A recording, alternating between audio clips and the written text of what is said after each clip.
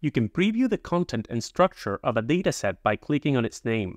On top, you see the dataset name, language, and display time zone, which you can modify by clicking on them. At the right side, you can navigate to the Details page, make links with other datasets, share your data, add a calculated column, or easily enable the Warp feature which we explained in the Dataset Overview lesson to accelerate your queries.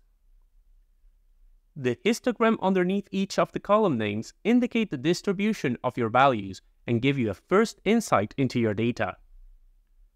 The data type of a column is indicated by the little icon left from its name. Luzmo has three main data types.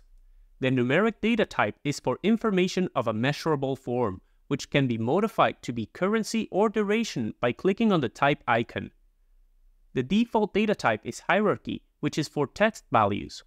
The third possible data type is datetime, for which you can choose the precision to be limited to date. There are special data types including topography and coordinates, which can be used to visualize information on maps.